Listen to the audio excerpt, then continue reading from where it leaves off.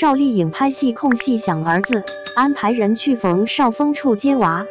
近日，有媒体在横店拍到正在拍摄新剧的赵丽颖，虽然工作忙碌，但她却不忘把儿子接到身边陪伴，可见内心对孩子一直都很牵挂。即使身处工作状态，也放心不下儿子。单亲妈妈不易。当天，赵丽颖并没有亲自现身，安排身边工作人员驾驶车辆到前夫冯绍峰的住处，把儿子接了回来。画面中，三岁的想想身高出众，穿着白色 T 恤和灰色短裤，打扮很接地气。尽管打了码，但依旧能感觉到孩子虎头虎脑，还戴了一副眼镜。不知是否眼睛近视。儿子走后没多久，冯绍峰紧随其后出现。只见他穿着白 T 恤搭配黑色短裤，头戴渔夫帽，打扮十分随意。和赵丽颖离婚后，他一直很低调，孩子大多数时间都由他来照顾，也算是尽职尽责的好爸爸了。最近，赵丽颖新剧《与凤行》在横店开机，工作十分忙碌的他。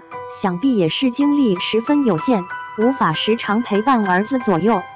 早前几日，就有媒体拍到冯绍峰带着儿子想想和朋友一起聚会。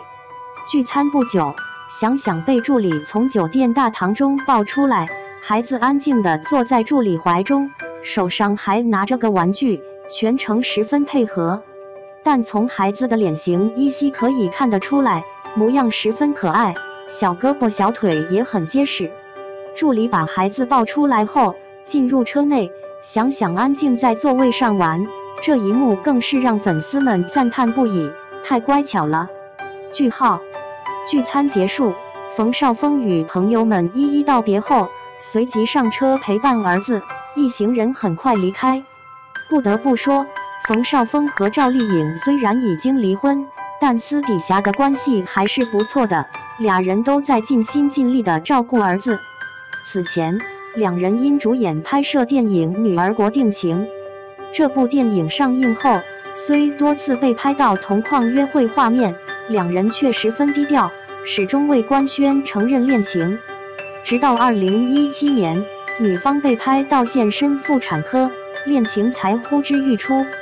2018年1十月16日，赵丽颖的生日当天。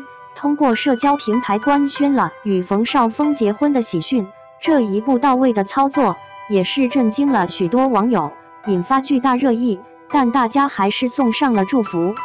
结婚半年后，儿子想想出生，此后赵丽颖很快就投入到工作中，与冯绍峰也长时间保持异地夫妻的状态。也许正因为长期不在一起，俩人的感情很快发生变化。结婚不到三年就宣布离婚，但好在二人虽不再是夫妻，但却一直承担起父母应尽的责任，真正做到了好聚好散，和平分手。